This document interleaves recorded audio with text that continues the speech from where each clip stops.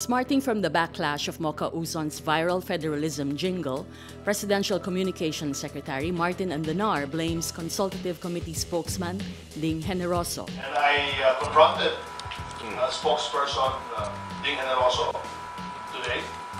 I told him that uh, kailangan mag-disengage siya kasi hindi naman siya nagpaalam sa PCOO. Dumiretso siya kay ASec Mocha without even informing, number one, the interagency and informing me as the head of this department. Andanar says he hasn't spoken to Uson, who is an assistant secretary under his office. He says he only managed to tell her via a message that he wanted to speak with her about the controversy. Consultative Committee spokesman Ding Generoso, the man who recruited Uzon to help in the social media campaign, says Uzon should give it a rest. Well, I think uh, for now she could lie low. Well, maybe uh, uh, give the issue a rest, no, and uh, see what, what can be done in the future. It's rather unfortunate, no, that uh, something like this would come out. It's something that uh, I wouldn't want to put on the internet.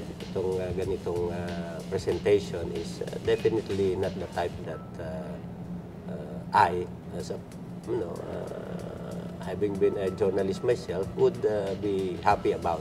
Uzon posted a video of her show Good News Game Show with co-host Drew Olivar. Oh, dito lang ako sa Halika tabi. na, Sayawin mo. sis! Sayaw na tayo!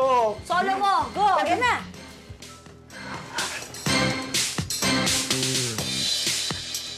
Ipepe, ipepe, idede, idede, ipede, pede, pede, pedera, this. In the video, Drew Olivar sings the colloquial words for vagina and breast while gesturing to his crotch and chest. He yells, federalize at the end of the number. Senators, including federalism advocate Senator Koko Pimentel, slams Uson and calls the video lewd. Pimentel says, I could not imagine that they would besmirch the cause of federalism. Mocha should be removed from the federalism campaign. She should study first. She should take a leave first. I am not angry but disappointed that the best and the brightest appointed to this government can come up with only that kind of bullshit. Senator Panfilo Lacson says without Mocha Uson, federalism is already dead and awaiting cremation at the Senate.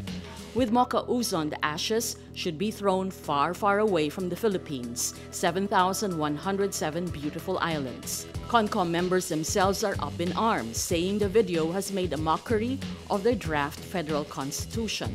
CONCOM member Father Ranhilio Aquino calls the video a vulgar and inappropriate way of promoting federalism. He says it uses toilet humor in relation to a very serious document. Responding to criticism, Uzon explains the online show was produced even before she was asked to help in the campaign. Bago pa po ako formal na kausapin ng representante ng CONCOM at ng communications group ng DILG patungkol sa federalism, ay na-shoot na namin itong video na ito.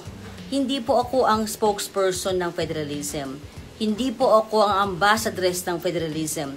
Isa lamang po ako sa mga tutulong para isulong ang kampanya ng federalism sa social media.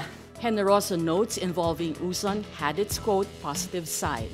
In a way, uh, uh, it had its uh, positive uh, effects. Now everybody's talking about federalism. Dati nga, eh, ang sabi ng survey, only 3 out of 10 Filipinos have heard the word federalism. Now probably there are 5 out of 10. There are levels that you have to hurdle. The first level is plain awareness. On Monday morning, the words federalism and Mocha Uson were trending on Twitter. Filipinos online also criticized the communications assistant secretary. One comments that Uson should have the decency to apologize.